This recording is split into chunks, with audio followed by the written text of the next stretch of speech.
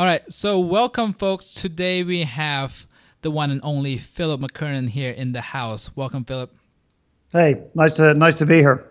Absolutely, and I met you first online on the London Real podcast with Brian Rose, and then I, I followed your work, and then I went to one of your event, the one last talk in Toronto this past year, and got a chance to meet and talk to you, and decided uh, I want you on the show, and you know here we are.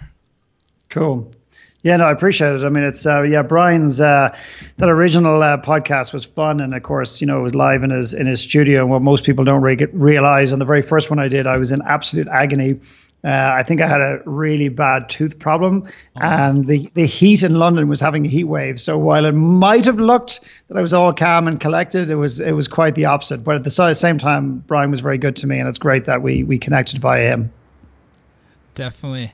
And let's start by telling our audience a, a little bit about who you are and your journey.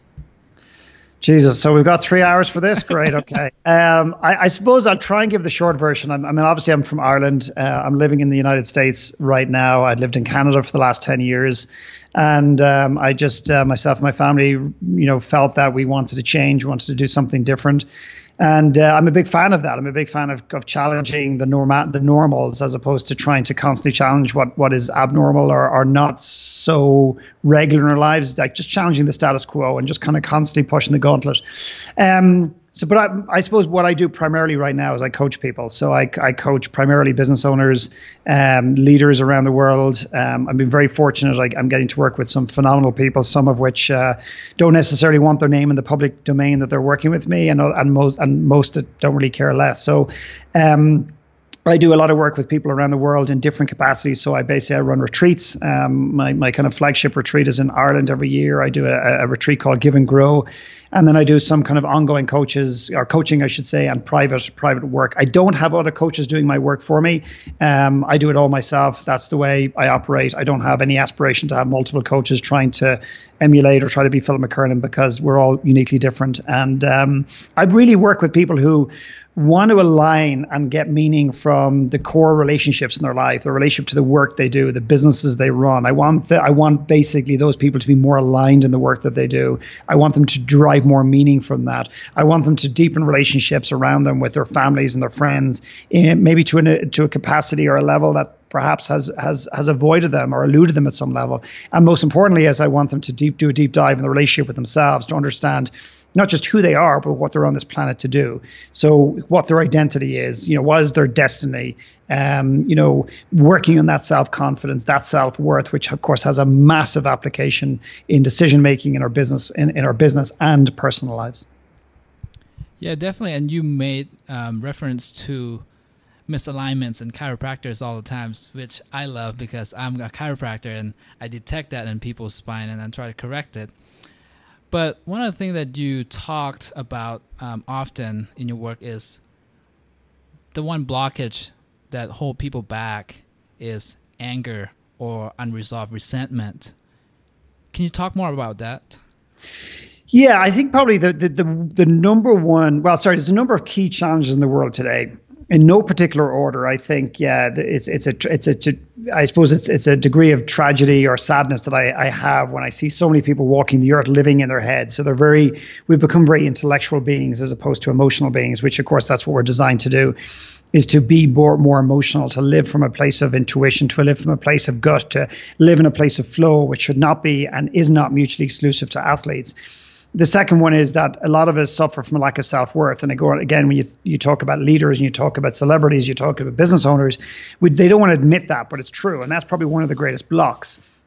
Um, but one of the greatest inhibitors that I've ever come across, probably one of the most destructive forces I've ever encountered in human beings, is unresolved anger.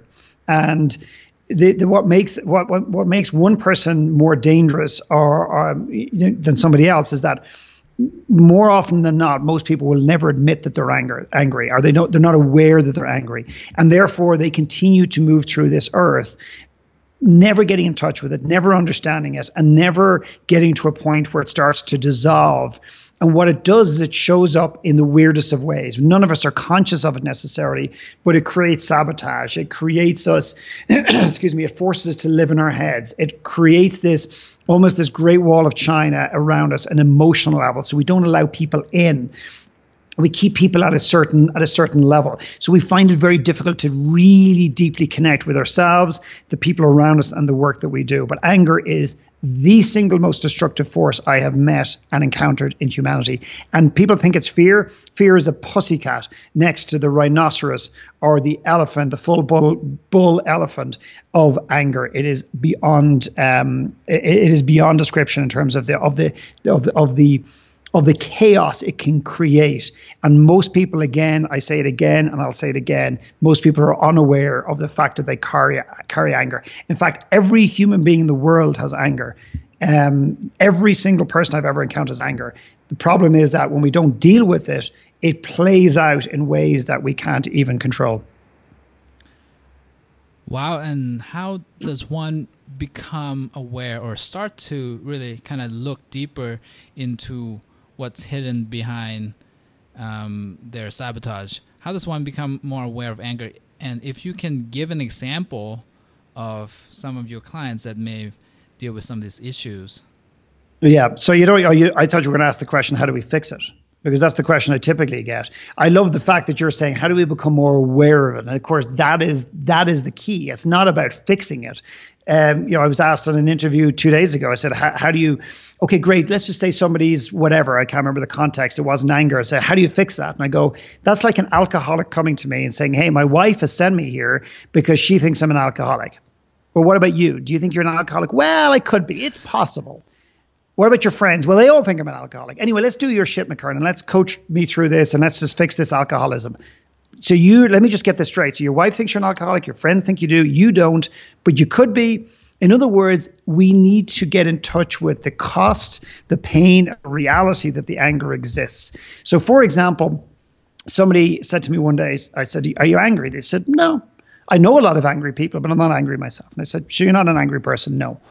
Well, I lost the head about six months ago. And I said, What do you mean you lost the head? Well, I got really angry. Somebody cut me off in the traffic. And, you know, and I said, Well, describe it to me. And they, she said, I just got so angry. This anger just came out of me. And I said, Where did it come out of? your back pocket or your ass, or it came out of you. It came from you. What that did was it just triggered the anger that already lies dormant within that person. So, the number one thing in the context of anger is to be number one, is to be open to the fact that you're probably harboring more anger than you can imagine. Number one. Number two is to start to discover, uncover, and explore without judgment. excuse me where where that where that anger originated from? Who is it directed at? Where did it come from? A lot of us say oh i'm not angry with my mom and dad. I mean they did stuff that pissed me off but they did the best they could.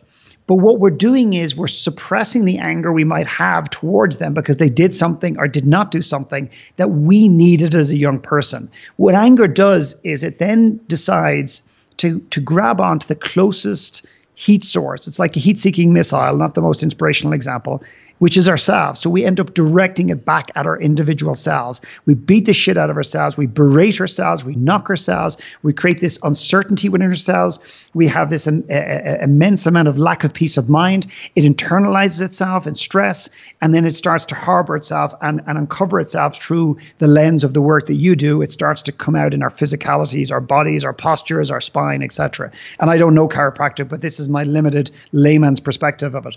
Um, so to start to understand it and then start to lean in and maybe then maybe it starts to require us to have a conversation. So we can start to let go start to forgive so we can let go. And what we're doing is the objective is never to get rid of anger nor should the objective ever to be get rid of fear to ever get rid of uh, sabotage. It's just to allow it to loosen its grip. If if if i was to use an example if you had somebody that's afraid of flying and you decided they decided to get therapy about it, would their fear of flying completely erratic disappear? Some might say it might. I would say it probably doesn't, but it softens. So the idea is never to get rid of it. And I've had multiple clients sit in front of me saying, I'm not angry, I'm not angry, to, to subsequently find out that they're bitter to their core about things they had totally forgotten about or chosen not to remember.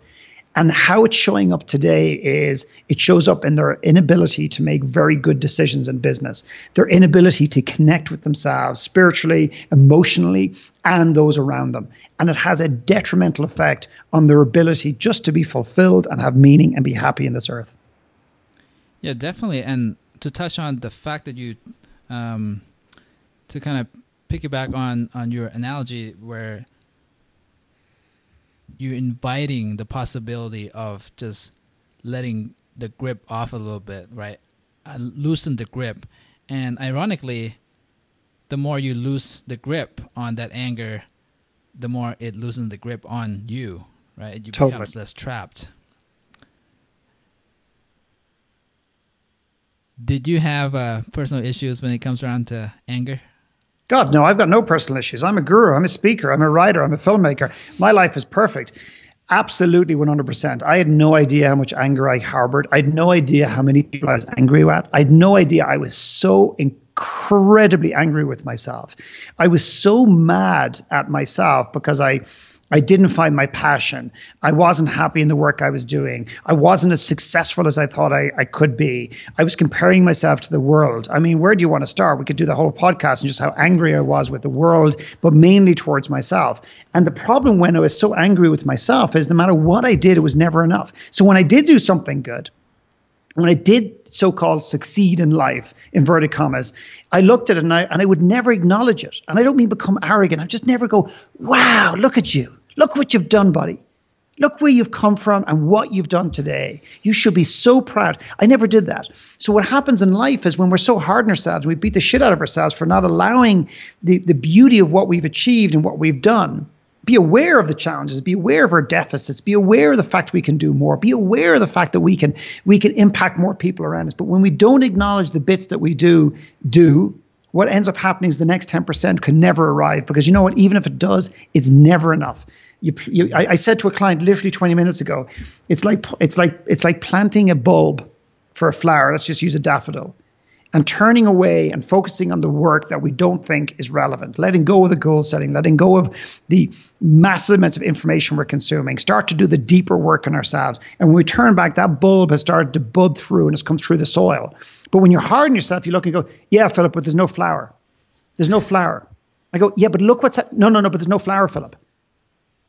That that is the very time that goddamn flower dies, and probably should because you don't appreciate it. Mm. And but when you can look back and go, hey, look, and that's something I've learned to do. But it's I see people being gr- grateful and having gratitude, and they're forcing it. It's not real. It's not authentic. What they haven't done is they haven't taken the time to work on the relationship with themselves, to let go of all the anger, to let go of the resentment, let go of the judgment, and start to actually find a place in this world where we can actually fall in love with ourselves and appreciate ourselves without becoming arrogant, without losing ourselves in our ego, and actually being appreciative of the person that we are, the journey that we've had. And what it makes you, what it makes you do is makes you feel stronger, and other people start to witness it in you, and it inspires other people to actually do the same thing. Wow, I thought that was a session for myself there for a minute. You reminded me of my younger self where um, I wasn't celebrating the small wins or the big wins, in fact. I was just feeling empty and I, I keep chasing the next one and the next one and the next one. Yeah. And only when I start to see that, okay, well, I've come far from where I started, then I start to feel a little bit better about myself. So and I love what you said, a little bit better. It's not about becoming a lot better. That happens in time. It's becoming a little bit better. And then you start to see that gap. You start to to and then what happens is when you have a bad day like i have bad days like everybody else despite what people say you know or think about me. Um, and and and there's days i wake up and i go shit what am i doing? Mm. or some client you know doesn't react the way i would love them to or doesn't see their own gift or just refuses to see their own gift. And i take it personally because i so want people to grow. I so want people to get better um, using you say and i'm sure you resonate with that as, as a chiropractor I don't Definitely. want people to come in when they're in a, pro, in, in, a in a reactive state. I want people to I want people to come to my work or this type of work. They don't even have to work with me and be proactive. There's so many people out there that only go to a chiropractor when their back is out. There's so many people out there that only go to a coach when their life is in shit. They only start to work in their relationship with their wife or their husband when the marriage starts to fall apart. It's too late. I want people to come and step into this work lie on your table, come to my work, sitting in my boardroom, and say, Hey, I want to be proactive. I want to know I'm on the right path. I want to challenge the path that I'm on. I want to know that the relationship I think is great is actually great, or is it just some bullshit lie I'm telling myself? Because scientifically, it's now been proved that couples wait five years too late to work in the relationship with, with, with each other. Five years too late. And by wow. then, you're almost strangers. And that's been scientifically proven. I believe we almost wait 10 years too late to work on ourselves.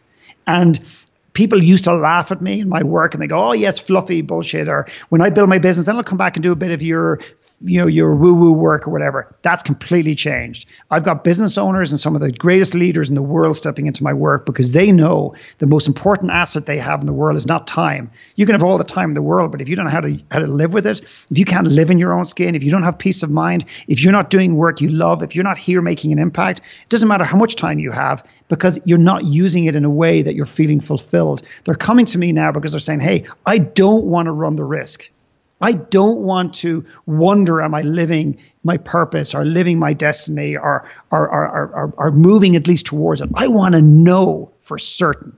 And that's the type of people I want to see looking after their health, looking after their emotional state, looking after their mental state, and looking after their bodies. That's the type of people I'm looking for in the world today. Awesome. Fantastic. Be proactive. And that's what we are all about here at the Wellness Cafe, too. You know, don't come when you have symptoms, but be really active and you got to put yourself up there in your priority list. Otherwise all everything else around you crumbles.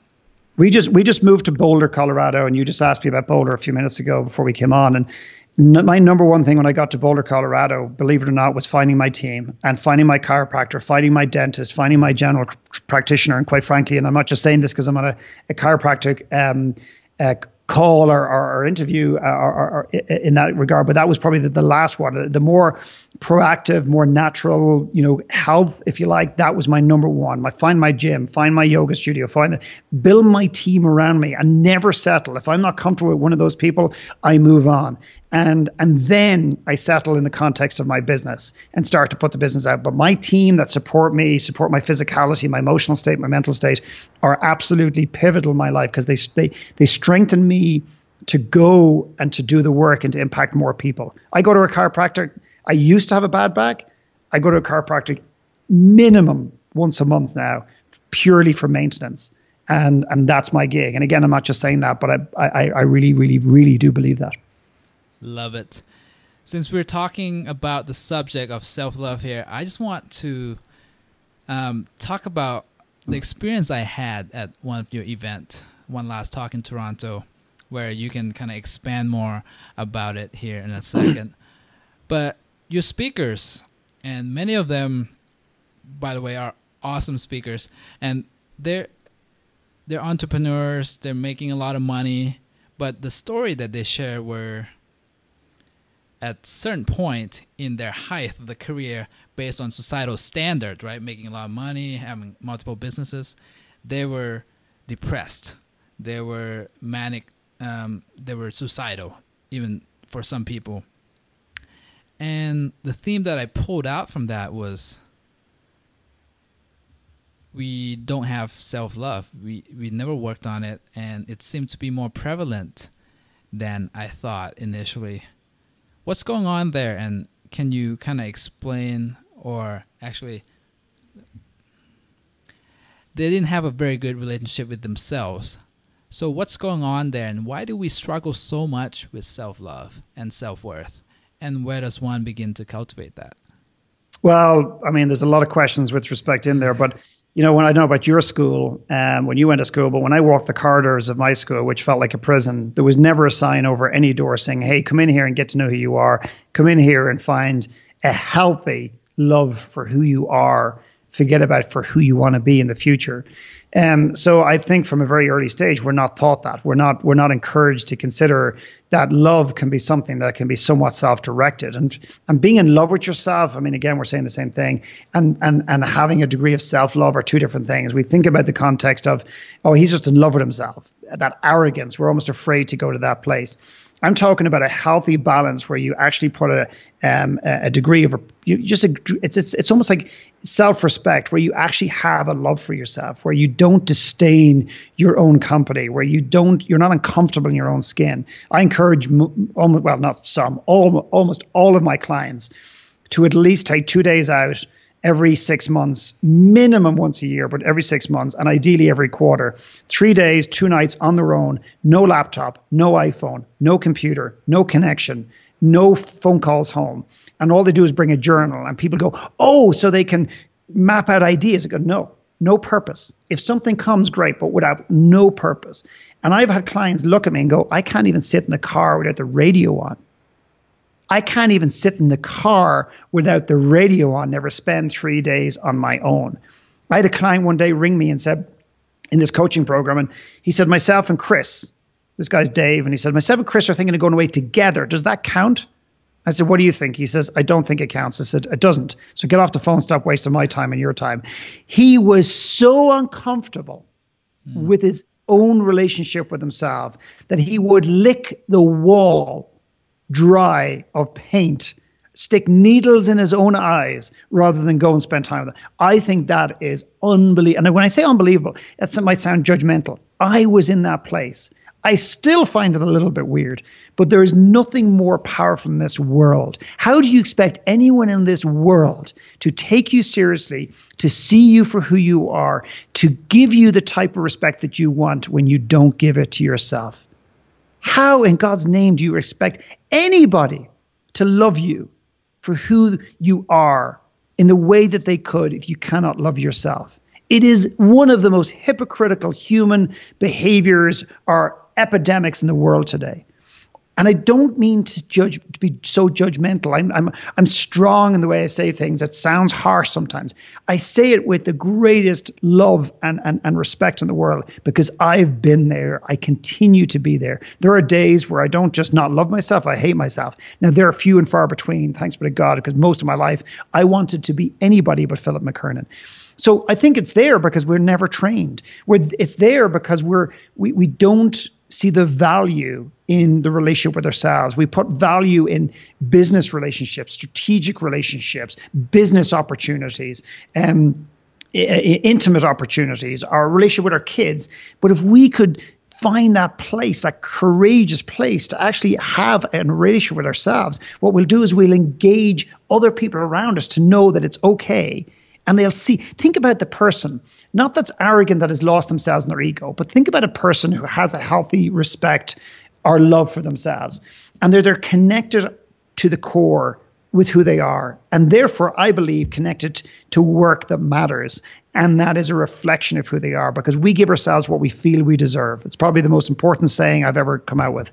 We give ourselves what we feel we deserve. So if i don't love myself I'm not going to give myself a beautiful relationship. If I don't love myself, I'm not going to give myself permission to do work that brings me joy. If I don't love myself, I'm not going to give, allow myself to get well paid for bringing great value to the world. And to me, it comes back to self love. Unfortunately, I was just a bit slow getting to that. It took me almost 40 years to not to figure it out, but to start to really step into that space. I don't want people to make the same mistake. Powerful. And you know, you remind me. We just had a talk with me and my nutritionist that she had for the first time in 27 years her alone time ever since her first twin boys was born 27 years ago she never had a single day or night by herself ever wow and she said that she had i think two nights by herself and that was she didn't know what to think or to feel it was like foreign territory, right? Totally. Yeah, and, and I completely agree with that. Um, and, and, by the way, just on that, and this is not directed at your nutritionist at all because I don't know the circumstances. Some people, you know, have kids and whatever, and they don't have a network, or the kids are sick, or there's multiple reasons. So again, depersonalizing it. But if, if there's mothers out there, and with respect, mothers, if you're listening, you are the worst offenders of this in the world, and you will tell yourself that you need to be there for your children. You will tell yourself that they're only here for a short time, and then they'll be gone, and whatever the stories you're telling yourself. And with respect, they're your stories they're your stories. That's the story you're telling yourself. And but it's not necessarily always what you believe to your core your children want or need. So for example, my wife would not take time for herself. And when I kind of pushed her to do so, she would say things like, Well, I need to be here for the kids and this and this and this. And it was all reasons but our stroke excuses. And I remember hitting her with the, the greatest emotional sledgehammer I could, which wasn't my intent, but that's what came out. I said, when our little girl Maggie grows up, and if she chooses to have children herself, what would you want for her? And my wife looks at me with tears in her eyes and goes, That's not fair. And I said, You know what? It is fair. What would you want for her? She says, I'd want her to take time for herself. I want her to value herself. I want her to realize that there's more to life than being a mother. I would want her not to lose her identity in just being a mother. With, with respect, there's nothing wrong with being a mother. It's an incredible thing. But that there's more to you than just being a mother. That you're not just here to serve other people, that you're here to serve yourself along the way. And I said, Well, if you want it for your little girl, do you want that to be a lecture in 20 years where you're telling your girl, or do you want to show her by your actions every single day? And with tears rolling down her face, she says, I want to do it myself. I want to do it myself. So my little girl is grow, grows up in that environment where she sees it's okay that mom goes off for a walk on her own, that mom goes off for a night on her own, that mom gets a massage, whatever it is, whatever your economic background and limitations and so on can afford you. It's not about going and staying in a five star hotel. It's about taking space for yourself. And and you might think your kids need you right now, but they what they need is their mother. What they need is their mother and their father being spiritually connected, being emotionally connected, being mentally aware. They don't need you pouring your life and soul into them because you're not as available as you might think. And when my wife comes back from these times that she does it, do you think she's a better mother? Absolutely. Absolutely. Do you think she's a better wife? Absolutely. Do you think she's more comfortable in her own skin and stronger in her own decision making? Absolutely. So, the point I'm making is, and this sounds harsh to some, but parents who do nothing but pour their lives into their kids and workaholic men in particular who justify and rationalize their workaholism because they're doing it for their kids, great. But have you asked your kids? Have you sat your kids down and explained to them that, by the way, the fact that you're not present is for them? And have you said to them, would you prefer $2.5 million in cash, four cars, three houses, and a business in the will? Or do you want your dad around every day, not just in the room physically, but emotionally available and not connected to the, the internet or not in the office when they're sitting in front of you?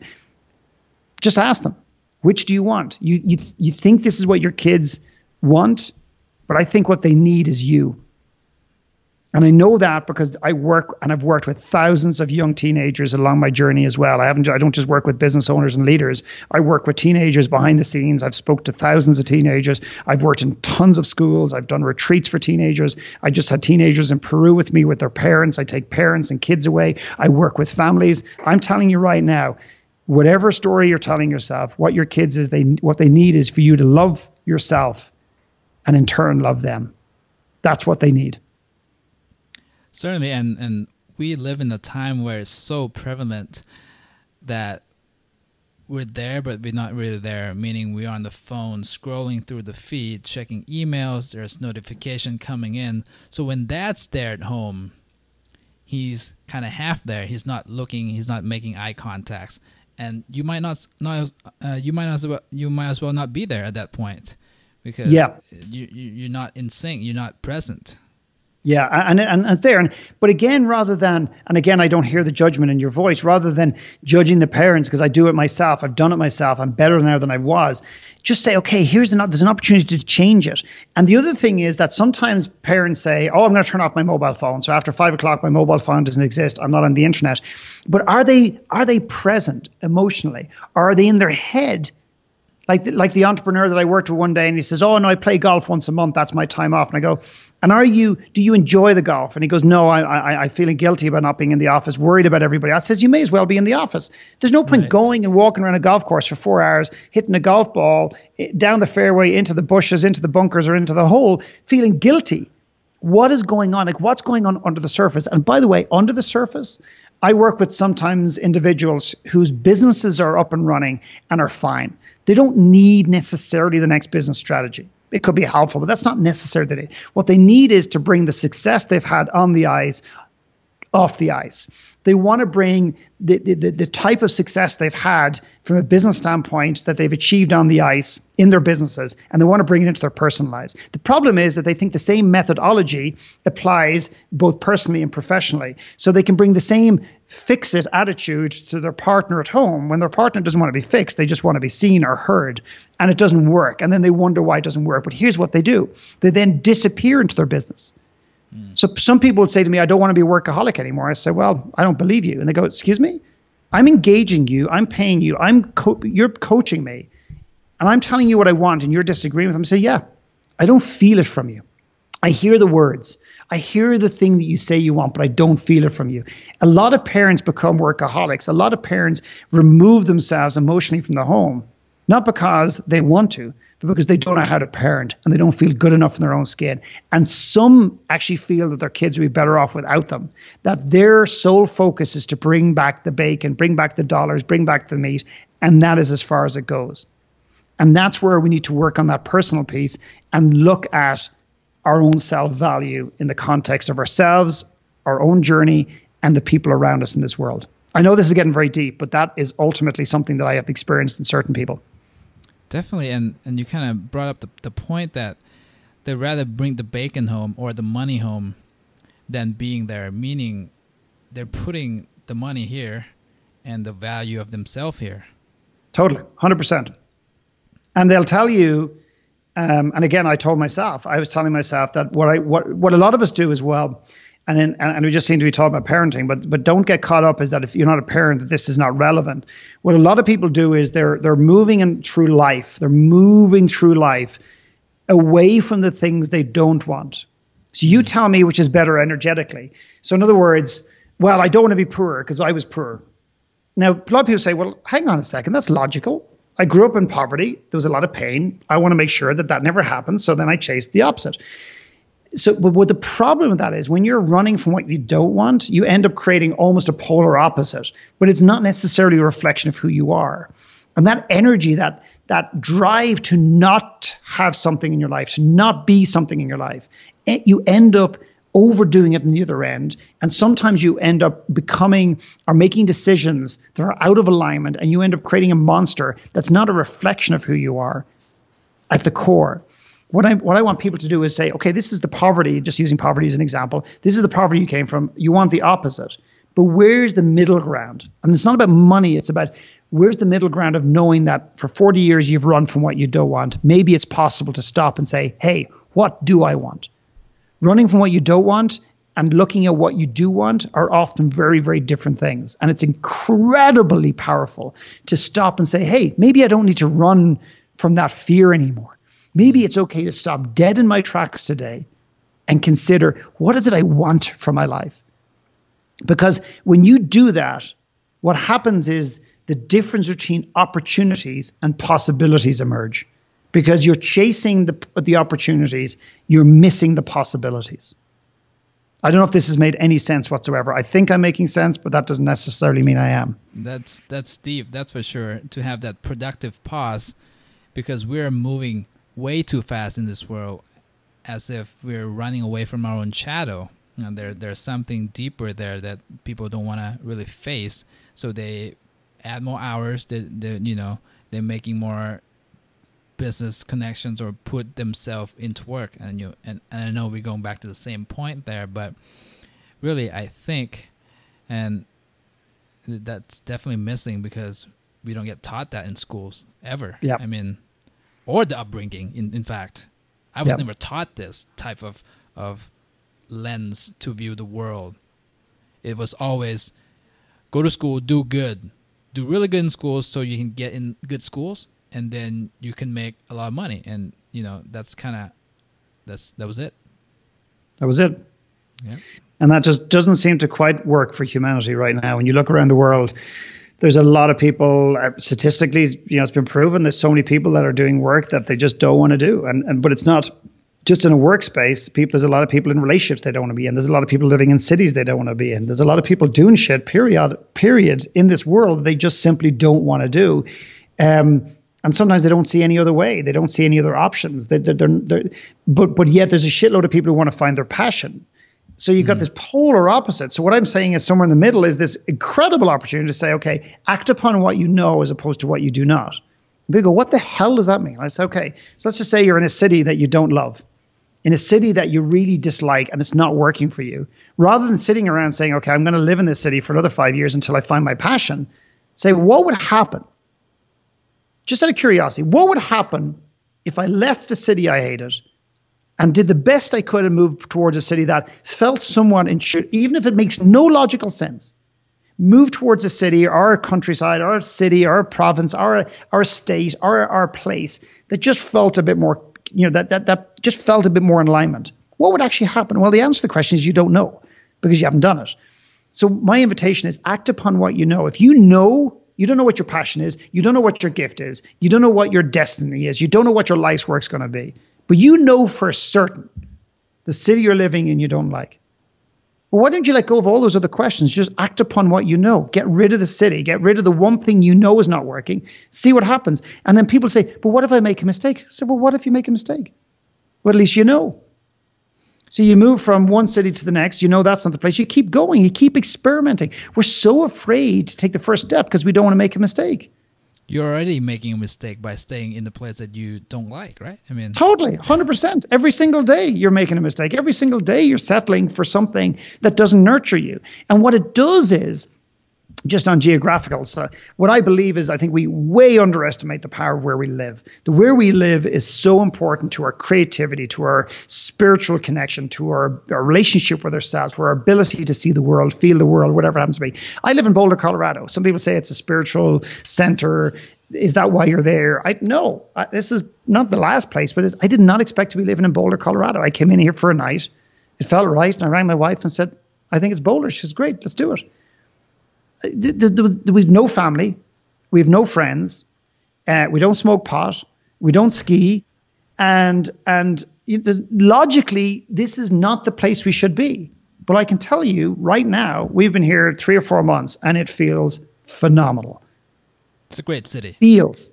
It is a great city, but it feels right. Mm. Where before I was in my head going, okay, intellectually, okay, where is better makes more sense for business and everything else, and we were going to go to the Bay Area, more clients there, more potential clients there. I go, no, I want to do something that I want to live somewhere that nurtures me, not the world. And by nurturing me, I'm better able and available to impact the world. Weren't you have this difficult conversation with your kids that you're like, oh, what are the kids going to think? And they're like, okay. Well, it's interesting that you say difficult, and I think that that is an assumption uh, that most people would say. Is that right, I'm right. assuming it was a very difficult conversation to rip the kids away from their friends. You know, they'd be hanging on by their nails, and as you pull their arms, three of their nails come flying off, and blood goes spurting everywhere as you're pulling them away from what they know. No, people keep saying to me, you know, when I was, you know, we have so many stigmatized cultural, societal stories that have to happen, like the terrible twos and the this and the that. We're still waiting for them to happen, okay? When we moved, we didn't just announce it to our kids. We talked to our kids for months in advance about the possibility of a move, the why behind a move, the the realization that there could be pain, there could be sadness, but there's something in our core we needed to do. When it came to it, this is exactly what happened. We ended up coming down for a few days to Boulder uh, to make the kind of final decision. We're sitting in a restaurant on the last morning, and I was nervous um, because we were about to broach the conversation about moving. And I remember my little boy, seven years old, before I had a chance to open my mouth, goes, "So what are we doing, guys?" And I looked at him and says, "What do you mean?" He goes, "Well, are we moving to Boulder or not?" And I said, uh, "Well, what do you think?" He goes, "Well, I like it. You like it, Dad. Mum, you like it. Maggie, who's five, my little girl, she looks up from her drawing, goes, "Yeah, Charlie, and he just says, I think we should go. And I, I said, Well, why don't we do this? Raise your glass. And whoever raised the glass wants to move to Boulder. Four glasses, clink, cheers, we're done. All right, so I'm gonna shift gear here and talk about your latest movie, Mr. Filmmaker, Phil McKernan, which I got uh, a privilege to to watch at your premiere in in Toronto, Give and Grow. To anyone who hasn't seen, it's a phenomenal film. I just want you to kind of tell our audience a little bit about the movie and the essence behind it without giving too much of it away. Okay, cool. Thank you for that. Um, I love the way you say your latest movie. Uh, it's our first movie, probably not the last. Uh, I just, I, as a medium, it's a very challenging uh, thing to do. It's obviously very costly. It takes time, but uh, but it's definitely something I enjoy doing. Um, and, and even with that, I mean, I would I could turn back the clock. There's things about the film I don't like. I mean, be, I know I'm not meant to say that, but there is. I mean, there's if, if I could turn back the clock, I probably would have done it differently. But it didn't stop us doing it, didn't stop us executing, it didn't stop us releasing it to the world. Um, the movie is called Give and Grow, and that was born out of probably one of the most pivotal days of my life when I worked in an orphanage in Sri Lanka many years ago. And what it did was it, it, it shifted something very deep in, inside me. And I'd love to tell you that on that day in Sri Lanka, something I just I had the awareness and I had the intellectual kind of um, connection to understand what it was. I didn't. All I knew is that I was a guy who had low, low confidence, wasn't connected, wasn't doing his work, wasn't on, on his path, his destiny, whatever you want to call that. Did this work in Sri Lanka and it shifted me in my core. And it wasn't because we brought gifts to these kids. We just worked with these kids, held them, played with them, hugged them, showed them that they mattered even for a day. And um, years later, I said to myself, I did an exercise called the five happiest days, which is an exercise I periodically do with clients. And I get them to write down their five happiest days in no particular order. And then I get them to hierarchy them after that and say number one, two, or three. And then ask the most important question, why? And when myself and my wife did this, two things happened. Um, number one is her her first one was her wedding day. Mine wasn't. Mine was my bucks party. And um, our second one was this day in Sri Lanka. And the question was why? And it, we didn't realize it moved us to the core. So I said, if it moved me that deeply, what could it do for other people? And I created a retreat four years ago where we went to Guatemala, worked with kids, and did a series of workshops, which is often the missing piece with volunteering. People go and volunteer and they give back. They feel good, but they don't know why. They don't know how it contextualizes in their life. They don't know what to do with it when they go home. So what we do is we create the giving, we create space in nature, we go hiking in the mountains, and then at the very end we create a workshop to see how did this impact you? Why did it impact you? What are you going to do with it? And when are you going to do it? And um, it was a retreat. And then I said, okay, so what if we documented one of these retreats? We brought a camera crew with us and followed people before, during, and afterwards, who they were, their challenges in this earth, what happened to them as they were giving unconditionally of themselves, how they grew exponentially, and what they chose to do with that. That is the essence of the film. But what emerged through the storytelling process was the difference between a talent and a gift. And this whole concept of, I think passion has been flogged to death. Mm-hmm. And I th- we want to go deeper than passion. And what we've landed on is this gift, which we believe is inherently within all of us. What I want to do is I want to uncover that gift, take off the dust, take up, wake up the gift that has been dormant for a long time and bring it to the world in different ways. And that has really become the essence and the cornerstone of the film. What is what is the difference between your talent and your gift? You could be a great accountant, you could be great at writing software, you could be great at painting houses. Is that a talent or is that really your gift on this earth? I believe it's your talent. And too many people are walking this earth executing their talents but not honoring their gifts. The film is all about helping you understand what your gift is and inspiring you to bring it to the world so you can impact the world in a better way. And by doing that, you impact your life in a better way. Powerful. Now, for people who, you know, just living in ordinary lives and want to get or imitate the experience of give and grow without jumping on a plane to India or Peru with you, can they do can can they do that here? Like absolutely. And that's what we cover in the film as well. We talk about we bring in neuroscientists, we bring in experts, we bring in like real life studies. We talk about my own personal story in there, and we talk about the fact you don't have to get on a plane. There is something there. There's two parts to this. There is something about getting out of your own environment. There's something mm-hmm. about getting away from what you know, the people you know, the environment you know, and just getting removing yourself. And that's why there's something powerful about getting on a plane. However, you don't need to do that. So if you're sitting here today and you just don't have the resources or you don't feel you have the time or whatever, it doesn't mean you have to put this on hold because you, you you're not in a position to go to India or Peru or wherever we fly and do these events. Just do it in your own backyard. Knock on the neighbor next door and just give unconditionally. You don't give them a pie because you want ten of their apples on their tree. You, you know you, you, you know you don't want to you don't want to go next door and give them a bottle of wine because you hope they sweep the snow off your pavement. You just give unconditionally, and what you'll find is you'll start to grow exponentially, irrespective of the outcome of the giving itself. So this is something you can give all over the place, but probably the most important gift you can give is the gift of your own story. And that's probably the next chapter of my life is starting to really zone in on the power of one story and to re- and for them to realize that their story has value in this world. Our stories are incredibly valuable. The only person that typically doesn't see the value in our stories is ourselves, and that is a, that, that that just doesn't need to exist. And by sharing your vulnerability, by sharing your pain with the people around you, it's not a weakness. It is one of the greatest strengths. It is one of the most courageous things you can do in the world. And that is a form of giving. It's giving people permission to see all of you and also to see that you're maybe perhaps they're not alone, that they have bad days as well. And it's okay. If as a speaker, as a teacher, in the world of speaking and teaching, I'm not meant to be vulnerable. I'm honestly, it's it's a non-spoken rule. You're not meant to be vulnerable. And then now there's this new wave of authenticity and now vulnerability where now speakers are getting on stage and trying to be vulnerable because it's kind of cool. And you can smell it a mile away. They're trying to be vulnerable. They're trying to connect with people at a deeper level, but they haven't done the work. They're still in their head. They haven't connected emotionally. I think I have a moral obligation to share people or tell people my truth. That I have shitty days as well. That I wake up and doubt who I am, doubt what I do. But I can tell you one thing: it will not stop me. Um, but by allowing people to see your truth, I think what it does inspires them to to believe that you know they're not abnormal, they're not broken, that they have the same chance as everybody else. It's what they do with it from that point makes the difference.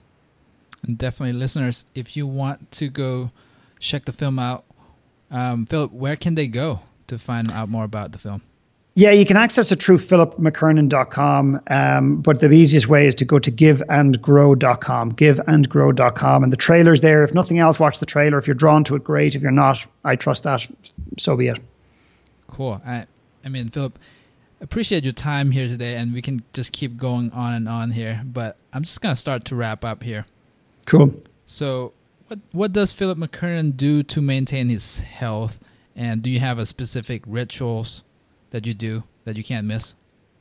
Uh, yeah, not daily. Uh, people people have, uh, often assume I have lots of daily rituals, which I which I don't necessarily have. Um, I, have got kind of you know weekly, monthly, yearly rituals that I that are just in, ingrained into my into my show. So I mentioned going to a chiropractor at least once a month. I'll go uh, for maintenance. If I'm traveling, probably a little bit more because um, you know sitting on planes and stuff like that. You know the old spine gets a bit uh, a bit contracted, etc. Um, obviously, going to the gym, stuff like that. Trying to do yoga once a week um, at minimum. I'd love to say meditation, but it's something I've not not. It just hasn't deeply landed with me. It's something I do periodically when I feel like it, as opposed to something I feel I have to do. Um, I go. Um, probably the most powerful thing I do is I go and spend two nights away on my own. Um, you know, once a quarter, minimum every six months. That is probably the most powerful practice I do, albeit one of the most difficult practices I've done. Um, I have honest conversations with uh, with people around me, and that is one of the healthiest things I ever do. Even though the, people say, well, "How's that got to do with health?" He's asking you about your physicality, and you're talking about emotion again. Well, I think they're absolutely and utterly linked together. I act upon what I know as opposed to what I don't. If something's not working for me, for example, my most successful coaching program today was called Everest. It mm-hmm. represented 98% of our revenue at that time, and I decided to shut it down. And people were astonished and they thought it was a marketing gimmick, like, oh, I'm going to shut it down next year, so you better sign up now. And I just don't operate like that. I shut it down because I wasn't feeling it, and I started to get a little bit stale. And rather than waiting till the, the it came to a standstill, I just acted upon this intuitive feeling that actually, you know what, this is not working for Philip McKernan. If it's not working for me, it's not going to work for anybody else. So I check in with what's working, what's in alignment. And my gauging for that is if I wake up in the middle of the night or I don't have peace of mind and I cannot sleep well. I know there's something in my life I'm not addressing. I know there's something in my life I need to address. And I do my best. I don't always get it right, but I do my best to address it full on as early as possible so I don't have to take on the pain further out down the line. Powerful. Well, appreciate you coming on today, Philip. Thank you so much for your time. Thank you. Thanks for having me.